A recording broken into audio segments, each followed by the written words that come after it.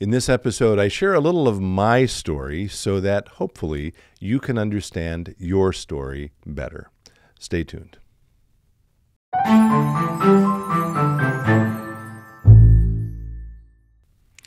Hello, friends. Pastor Tim Westermeyer here, Senior Pastor of St. Philip the Deacon in the western suburbs of Minneapolis. Good to be with you as always.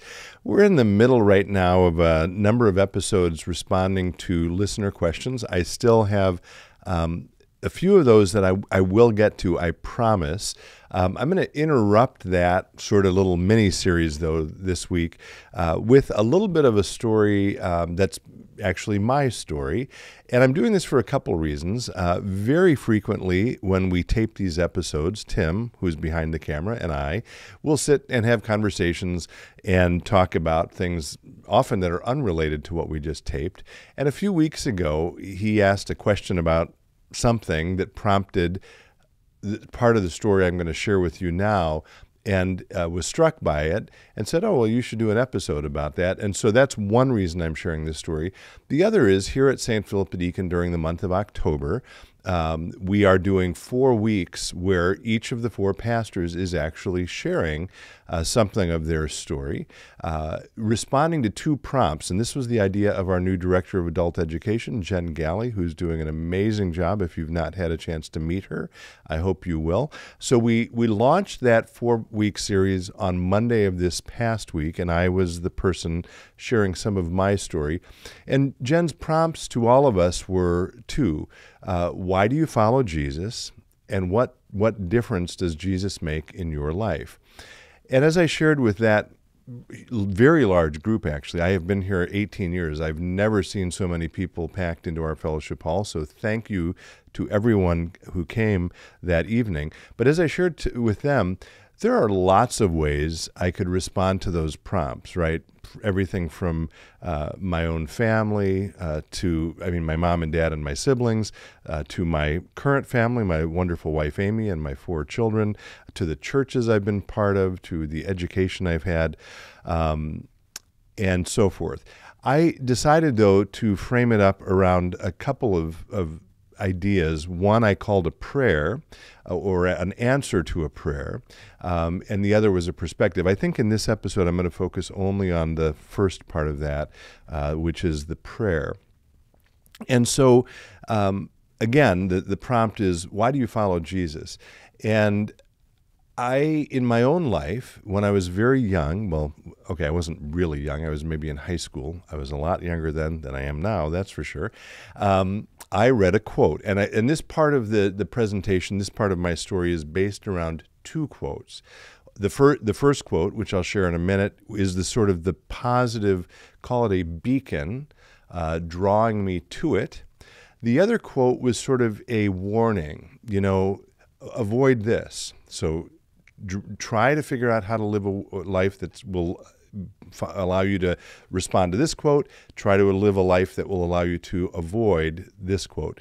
So the positive quote comes from, uh, sort of ironically, a gentleman who was not a Christian, uh, George Bernard Shaw.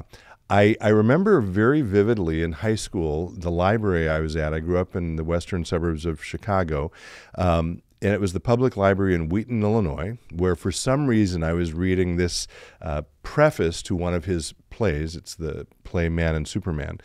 And the quote is this This is the true joy of life, the being used for a purpose recognized by yourself as a mighty one, the being thoroughly worn out before you are thrown on the scrap heap, the being a force of nature instead of a feverish, selfish little clod of human griefs and ailments, constantly complaining that the world will not devote itself to making you happy.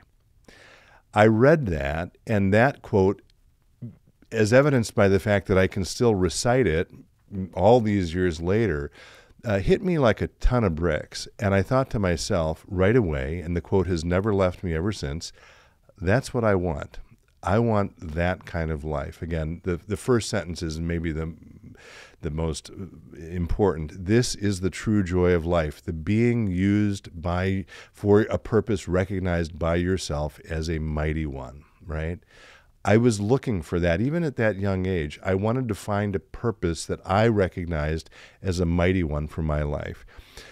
That was the positive quote. The negative quote, um, and it was, and well, I, I will read a couple quotes, but it's actually a short story. It's amazing to me this is a tiny little book. It's amazing how many tiny little books have had such a profound influence in my life. The book, it's sort of an extended short story. It's The Death of Ivan Ilyich by Leo Tolstoy. Okay. And it's his reflection on death, actually, in, in a fictional form. And it's the story of a judge, Ivan Ilyich, who lives in a way in which everything he does is proper and appropriate, you know, and and then he finds out in sort of middle age that he's dying. Uh, it's a little unclear why, but it may be some kind of cancer or something. And it, it forces him, Ivan Ilyich, the character in this, this short story, to confront his own mortality. And it is inconceivable to him that he is going to die uh, at a young age. And he says a, a couple of things that, again, st- stuck with me when I read them in the same way the Shaw quote did, only in this time it was a more of a negative. I want to avoid that. So here's one place in the book. He says, This is him speaking himself. What does it all mean? Why has it happened? It's inconceivable. Inconceivable that life was so senseless and disgusting. And if it really was so disgusting and senseless, senseless, why should I have to die and die in agony? Something must be wrong. And then this line Perhaps I did not live as I should have. And then he restates it in slightly different language a few pages later. He says this What if my entire life, my entire conscious life, simply was not the real thing? Of course, that begs the question then, well, what is the real thing? Um, which he, the book, addresses in some way. But I remember again reading that thinking, boy, I don't want to come to an end like Ivan Ilyich when at the end of my life I'm looking back and thinking I didn't live the way I was supposed to, right? So on again, on the one hand, you've got the I had the quote by Shaw, this is the true joy of life, to being used uh, for a purpose recognized by yourself as a mighty one. And then they had, I had this kind of warning, uh, as evidenced by the story, the death of Ivan Ilyich. And I, I, mentioned that this part of my discussion of my story I framed up as a prayer. Um, and that's because I think unknowingly, both of those bookends, right, were a form of me praying to God, God, help me discover the true joy of life that you have made for me. And the miracle in my own life, I believe, is that God actually answered that prayer. Uh, in part, by the way, and I, I, credited her in the in the talk on Monday night, and I will do it again here by drawing me to my wife Amy and giving us our beautiful family. And as I said then, if I had nothing else in my life, my life would have been worth living. Okay, but God uses us in many different ways in a lifetime, partially through our families, and partially through the way we are part of a community, uh, and partially through our work, through our vocation. And so, for me personally, uh, being called to ministry has, in fact, I have discovered, been the answer to that prayer of being used for a purpose recognized by myself as a mighty one. And I am profoundly, profoundly grateful for God's response to my own prayer, for God leading me to this incredible kind of work, which is such an, an amazing privilege to do. Um, and so, again, that wasn't all I shared, uh, but that was a big part of, again, my story. Um, what I will end with is something I also shared, which is that. Um, the fact that that is my story, the fact that I was called to ministry as a response to that prayer, does not mean, I want to be very clear about this, that everyone is called to ministry. As I said to everyone in that room, each of us, and I've preached about this before, is called by God to do something specific in the world that only you can do, right? And so, uh, again, one of the quotes that's been really important for me uh, in my own life. It turns out that being a pastor means you are set apart and sort of different.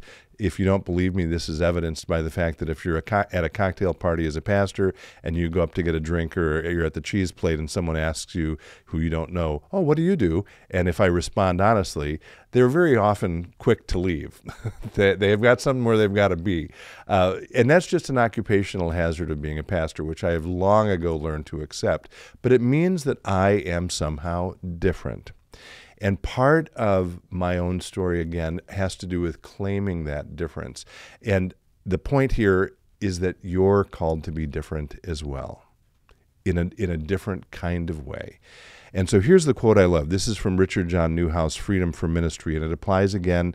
Um, he's talking specifically about people who have been called to ordained ministry, but it ends up applying to everyone. So listen to these beautiful words. Um, those who have been touched by the burning coal from the altar, um, that's a reference to Isaiah's own call when he was appointed by God as a prophet. And he's corresponding there to uh, the call of to, to ministry. So those who have been touched by the burning coal from the altar, and whose touch has been ratified by the call of the church, must not pretend that nothing special has happened to them. Such pretense is not humility, but blasphemy. It is not modesty, but ingratitude. It is not devotion to equality, but evasion of responsibility. It is fear, the fear of being different. And then this beautiful quote this hangs on my wall in my office. And when we are afraid, you and me both, when we are afraid to act upon the difference to which we are called, we inhibit others from acting upon the difference to which they are called. Another way of saying it is that when we respond to God's call in our life and are willing to accept that difference, or in other language, to step into the water, I've talked about this in the life of Moses, um, we people see that and they're drawn to it and they realize maybe I could do that in my life as well. Again, in a different way. So, the point of this episode despite it being a little bit of my own story, is not really to be about me. The point of this is to say to you, what's your prayer for your life? What is it that God is inviting you to do? And I'd encourage you to sit with that, um, reflect on it in your own life, and as we encourage people to do on Monday night, find someone you can talk to about your story or listen to their story, because in doing that, in sharing our stories, it turns out that we can discover much more fully what God has in store for each of us. Thanks as always for being with me. Be well, stay in touch, and God bless.